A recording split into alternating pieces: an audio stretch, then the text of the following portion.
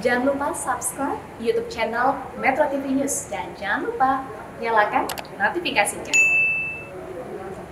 Beberapa hari belakangan beredar di dunia maya video viral kumandang azan diganti dengan kata jihad. Azan yang sejatinya merupakan panggilan untuk salat dan beribadah diubah menjadi menciptakan suatu pemaknaan yang baru. Dan tak hanya itu bagaimana seharusnya peran ulama atau tokoh agama dalam menjaga persatuan dan kerukunan di Indonesia. Untuk membahasnya sudah terhubung bersama Ustadz Dasat Latif. Kita akan langsung menyapa Ustadz Dasat Latif. Assalamualaikum, selamat pagi Ustadz. Waalaikumsalam warahmatullahi wabarakatuh. Selamat pagi Mbak. Selamat pagi, sehat-sehat Ustadz ya pagi ini ya. Alhamdulillah sehat walafiat. Alhamdulillah. Ustadz Dasat, apa pandangan Ustadz terkait ulama sebagai suri teladan umat muslim? Ya, sesungguhnya Rasulullah Shallallahu Alaihi Wasallam menjadi prototipe contoh keteladanan kita apa pun kita, terutama sebagai dai Rasulullah awal-awal beliau diutus di Mekah itu nyembah Tuhan empat. Perempuan itu dianggap hina. Hamar jadi minuman kefavorit.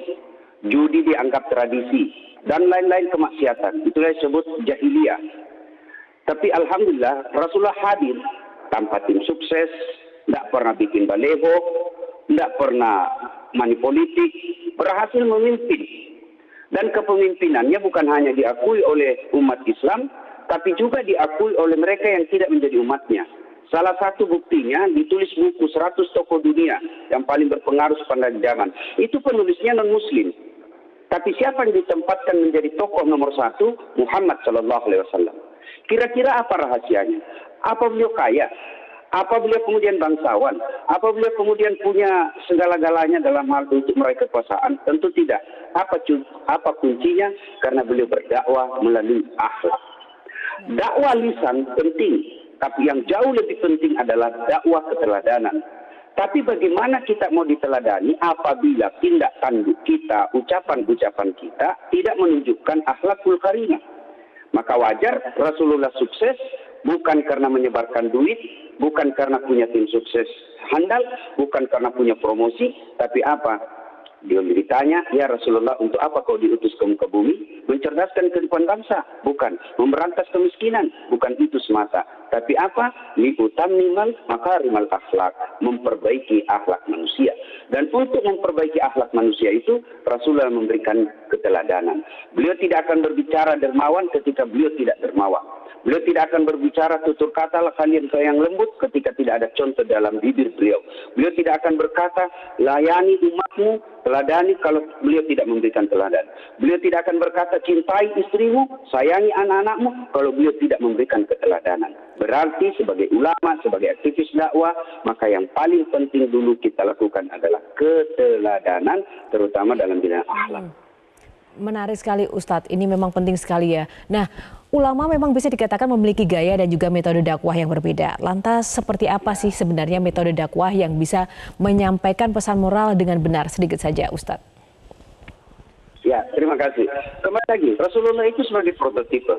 Rasulullah itu kalau mendawai sahabat tidak nunjuk langsung, eh kodas at, kau salah begitu. Tidak. Tapi beliau kerambol. Ya, ada sahabat yang baik betul sholatnya tapi bertetangganya jahat. Maka Nabi berkata, sebaik-baik di antara kalian adalah yang paling santun kepada tetangganya. Ya, tidak nunjuk langsung hidung. Ada sahabat baik betul sama tetangganya, tapi sholatnya selalu terlambat. Maka Nabi berkata, sebaik-baik di antara kalian adalah sholat yang awal waktu. Maka sahabat pun pada saat itu langsung introspeksi diri. Tapi sesungguhnya antara Nabi dengan yang mau didakwai juga harus korelasi, korelasi yang baik.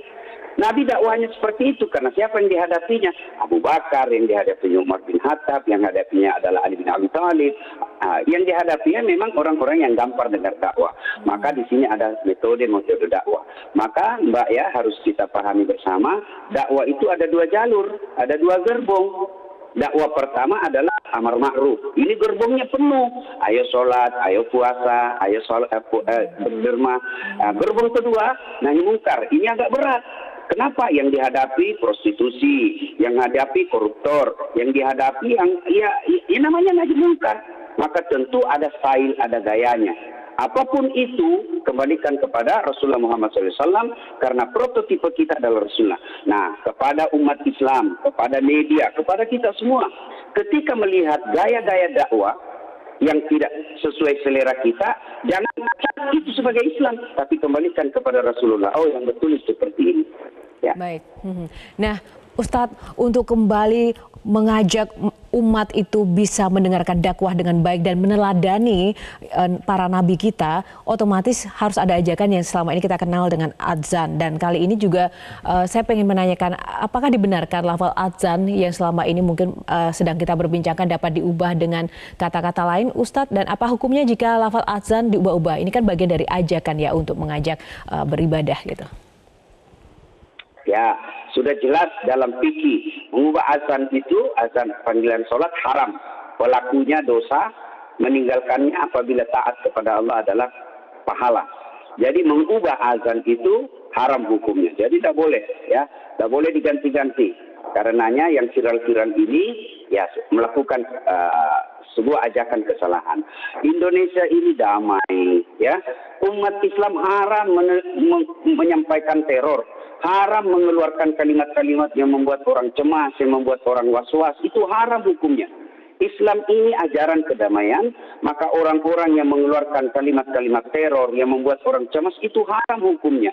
Negara kita ini sangat luar biasa. Mari cintai negara. Saya ini sangat cinta dan bangga. Saya ke luar negeri ke mana-mana ceramah. Saya selalu bangga menjadi rakyat Indonesia. Bukan karena saya alumni Lemhanas. Bukan karena saya punya pernah mengucapkan uh, sumpah prajurit. Tidak. Tapi karena saya cinta, karena saya dari desa ke desa, dari lorong ke lorong, dari dari kampung ke kampung, dari provinsi ke provinsi. Saya melihat luar biasa anugerah Allah berikan di Indonesia. Kita ke timur ya, kita ketemu saudara-saudara kita yang Papua, yang warna kulitnya gelap, rambutnya keriting, tapi santun. Ya, kita datang lagi ke Pulau Solo, tutur katanya yang sopan, santun. Maka cintai negara kita ini dengan merawatnya, kerukunannya. Karena kalau kita ribut, saya tidak bisa lagi dakwah. Kalau kita sudah rusuh, saya tidak bisa lagi cari nafkah. Maka kita semua warga Indonesia berkepentingan menjaga kedamaian ini dengan porsi kita masing-masing. Ya, pecinta media, adik-adik remaja yang berselancar di dunia media massa, ya, di dunia media sosial, janganlah kau sebar konten-konten yang berisi kebencian, ya. Jangan kau sebar konten-konten yang gampang membuat kita naik tensi e e emosinya. Mari, maka ketika mendapat berita seperti ini yang, yang viral azan, ngapain kita sebar lagi? Begitu dapat dan yakin salah, tidak usah punya nafsu untuk menyebarkannya lagi. Semua kita harus punya andil untuk merawat kedamaian Indonesia ini. Nah, Baik, uh, Ustadz ini uh, apa namanya terakhir ini boleh di sedikit saja dijelaskan agar masyarakat juga lebih bisa memahami tentang kata jihad dan apa harapan Ustadz ke depan. Ya, nah ini kadangkala jihad ini ketika kita dengar jihad yang ada perang itu keliru. Kalau kita lihat definisi jihad, ya definisi pengertian jihad yang sesungguhnya adalah berupaya dengan sungguh-sungguh meraih ridha Allah. Itu jihad. Nah, pulanglah perang Badar. Rasulullah lalu bersabda, kalian baru pulang dari perang yang kecil dan akan menghadapi perang yang lebih besar lagi. Sahabat kaget, ya Rasulullah masih ada perang yang lebih besar dari ini? Ada. Apa gerangan? Menaklukkan, mengalahkan, mengendalikan hawa nafsu. Maka jihad sesungguhnya yang paling besar adalah mengendalikan hawa nafsu untuk tidak menyebar berita-berita konten kebencian. Ya, itu semua jihad untuk datang mencari nafkah itu jihad. Tapi jangan selalu ada di otak kita jihad itu adalah perang. Ya. Nah, saya kira jihad ini harus perlu lagi dikampanyekan. Jihad sesungguhnya adalah berupaya bersungguh-sungguh mencari ridha Allah. Mbaknya ini menyiarkan berita agar orang ya. tahu, agar orang bisa menghindar. Itu adalah jihad. Baik. Amin. Terima kasih Ustadz Dasat Latif untuk pencerahannya pagi ini bersama Metro Pagi Prime Time. Selamat pagi. Semoga sehat selalu.